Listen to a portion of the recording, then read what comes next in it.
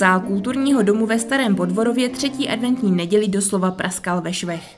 Zaplnili ho totiž pišní rodiče dětí z místní mateřské a základní školy, aby si vychutnali originální vánoční besídku. Já jsem krátký a umím se zkracovat.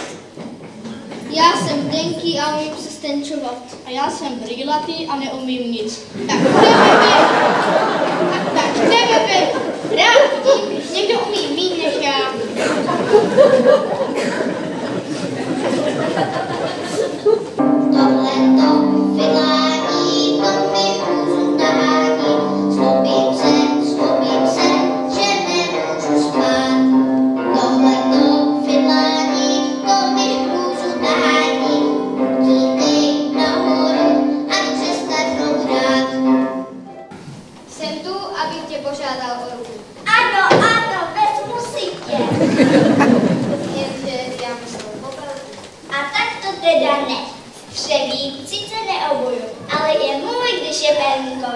víte co?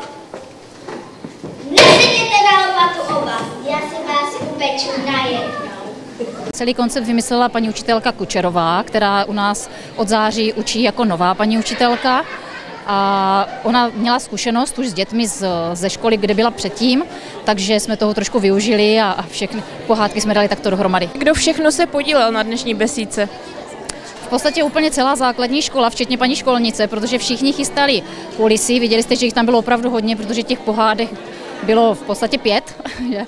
takže na všechny musely být kulisy zvlášť. Eh, Všechny paní učitelky vyráběly kulisy a kostýmy a podstatě i rodiče, kteří nám pomáhali s těmi kostýmy. Takže opravdu všichni. Děti ze základní školy rodičům předvedly divadelní představení plné známých pohádek, jako například o Budulínkovi nebo o Popelce. Ovšem jejich provedení se lišilo od toho, jak je známe.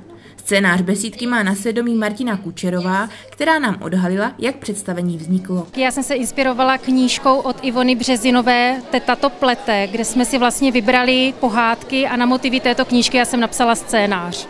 Některé písničky byly využité přímo z knížky, no a některé jsem si složila já. Jak to bylo náročné eh, skládat ty písničky? Už s tím máte zkušenosti? Eh, V předchozích letech já už jsem takové menší pohádky, mini muzikály dělala. Toto byl takový jeden úplně první velký projekt. A jak se vám s dětmi pracovalo? Úžasně. To byly to úžasné děti a měla jsem hlavně velkou radost, že se mi podařilo obsadit úplně všechny děti z celé školy. A s výsledkem jste tedy spokojená? Určitě ano. Pozadu ovšem nezůstaly ani děti z mateřské školy, které svým vystoupením doplnily muzikálové představení. Děti z mateřské školy měly zvlášť program, to byl úplně ten první příspěvek. Oni měli vlastně takové písmo vánočních písniček a tanečků a básniček.